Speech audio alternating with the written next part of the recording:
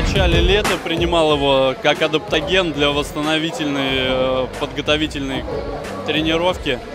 На начальном этапе к соревнованиям готовился, то есть по пауэрлифтингу. По две таблетки, как в инструкции. То есть мне говорили, что в принципе можно побольше, но я не стал, э, потому что у меня начальный этап подготовки был, то есть не стал сразу борщить так, чтобы веса не росли.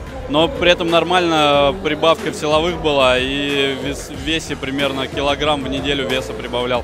Сухой, мышечной, нормальной массы. Да, Левитон П, э, хоть он и не такой сильный, как Форте, там, но достаточно хорошо прибавлял. То есть как адаптоген он супер. На более высоком э, этапе подготовки отказался просто тестостерон, чтобы сильно не повышать. У меня и так э, там анализы сдал, у меня и так нормальный уровень тестостерона. У меня весовая категория до 82,5 килограмм, я выступаю по пауэрлифтингу. И чтобы вес просто выше не ушел, я перестал его принимать.